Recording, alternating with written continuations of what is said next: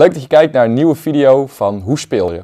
Ik ben Melvin van Lobbes en vandaag leg ik je uit hoe je het spel Quirkle speelt. Quirkle is een snel en eenvoudig spel waar misschien toch meer tactiek bij komt kijken dan je zou denken. Het is voor 2 tot 8 spelers. Je bent er ongeveer een half uurtje tot drie kwartier mee bezig. Dus laten we snel gaan kijken wat er in de zak zit. Het spel komt met deze handige zak waar 108 blokjes in zitten.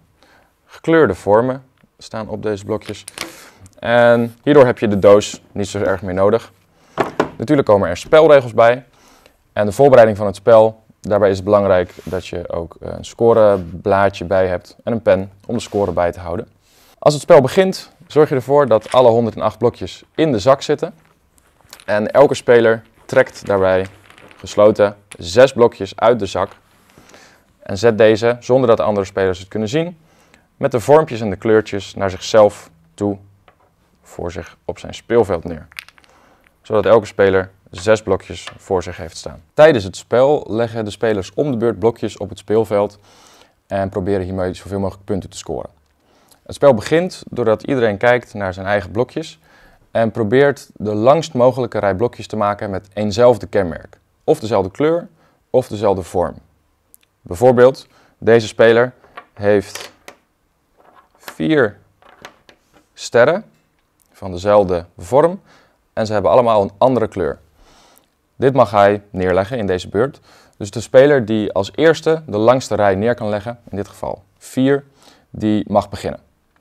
Er mogen in een rij geen dubbele blokjes voorkomen. Oftewel niet tweemaal een rode ster. Wat ook mag, is dat je bijvoorbeeld een rij neerlegt van dezelfde kleur, maar dan mag er niet dezelfde vorm in voorkomen.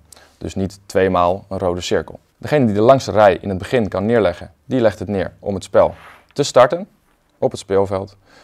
En bij een gelijke stand start de oudste speler met de langste rij. Vervolgens draait de beurt met de klok mee en spelers elke keer een beurt. Tijdens een speelbeurt kun je kiezen uit twee opties. 1. Blokjes aanleggen of 2. Blokjes ruilen. De eerste optie. Als je kiest voor aanleggen, dan leg je één of meerdere blokjes op het speelveld. Alle blokjes die je speelt, die moeten, die moeten één kenmerk delen.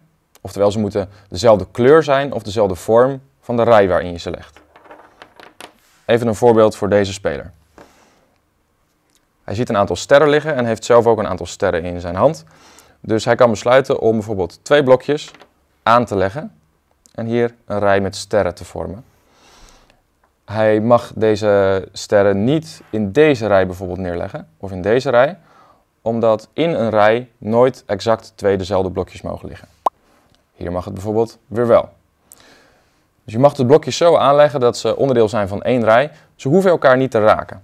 Dus hij mag ook ervoor kiezen om aan beide kanten van deze rij blokjes aan te leggen. In een rij van vormen mag maar één blokje van elke kleur uh, liggen. En in een rij van kleuren, als de speler bijvoorbeeld in plaats van hier besluit om een rode rij te maken, dan mogen daar maar één, uh, mag er maar één blokje van elke vorm in liggen. Dus niet twee keer een rode cirkel bijvoorbeeld. Zo kan een speler dus zijn blokjes wegspelen. Hij mag één of meerdere blokjes wegspelen tijdens een beurt, maar als het maar in één rechte rij wordt aangelegd. De tweede optie die je hebt tijdens een speelbeurt is om één of meerdere blokjes te ruilen. Als je dit wilt doen, dan leg je de blokjes apart die je wilt ruilen. Vervolgens grabbel je blind uit de zak, in dit geval twee nieuwe blokjes. Die zet je weer voor je neer en vervolgens pak je de apart gelegde blokjes en die stop je in de zak. En je zorgt ervoor dat ze weer even goed geschud worden. Als je op enig moment in het spel niet kunt aanleggen, dan moet je één of meerdere blokken ruilen. En is je beurt voorbij. Dan de puntentelling. Hoe scoor je punten in een beurt? We gaan een aantal voorbeelden bekijken vanuit het perspectief van deze speler. Als je blokjes neerlegt en dus een rij maakt, scoor je één punt voor elk blokje in die rij. Bijvoorbeeld, deze speler die besluit om een oranje cirkel aan te leggen in een oranje rij met verschillende vormpjes. En dan krijgt hij dus drie punten voor. 1, 2, 3 blokjes in deze rij. Ook de blokjes die er dus al lagen, tellen hem mee voor de punten die hij in die beurt verdient. Eén blokje kan twee punten opleveren als dat blokje onderdeel is van twee verschillende rijen. Hij kan bijvoorbeeld in plaats hiervan besluiten om een oranje blokje hier neer te leggen. Zo legt hij een blokje aan in de oranje rij. Dan krijgt hij daar 1, 2, 3 punten voor. Maar legt hij ook een blokje aan van een andere kleur in een rij met dezelfde vormpjes. En daarvoor krijgt hij 1, 2, 3, 4, 5 punten. 3 en 5 punten betekent dat hij 8 punten heeft verdiend in deze beurt. Je kunt een bonus scoren van 6 punten als je een rij van 6 blokken compleet maakt. Dat wordt een quirkel genoemd. En een quirkel kan dus alleen bestaan uit een rij van 6 vormen met één kleur of een rij van 6 kleuren met dezelfde vorm. Voorbeeldje. Een speler zou kunnen besluiten om deze oranje hier neer te leggen en daarmee een quirkel te vormen. Zelfde vorm, zes verschillende kleuren. Deze rij is nu compleet. De speler krijgt daar dus 6 punten voor, want er liggen 6 blokjes in de rij. Plus nog een bonus van 6 punten, is 12 punten verdiend in deze beurt. Een ander voorbeeld is dat een speler bijvoorbeeld een laatste vorm die nog nodig was in deze gele rij kan leggen. Hiervoor geldt hetzelfde, een quirkel, 6 punten en ook nog eens 6 bonuspunten is dus 12 punten. Maar let op, de speler heeft hem hier in het midden neergelegd, waardoor dit blokje ook meetelt voor de horizontale rij. 1, 2, 3 punten komen er nog eens bij. 12 en 3 punten is 15 punten verdiend in deze beurt. Dat is een goede beurt voor deze speler. Je mag in een beurt dus niet al deze blokjes tegelijk wegleggen. Je mag maar op één plek in één rij blokjes neerleggen. Al is het horizontaal of al is het verticaal. Als je in een beurt één of meerdere blokjes in een rij hebt weggelegd, dan pak je aan het einde van de beurt evenveel blokjes zoals je hebt weggelegd. En je zet ze weer voor je neer, zodat je zes blokjes paraat hebt.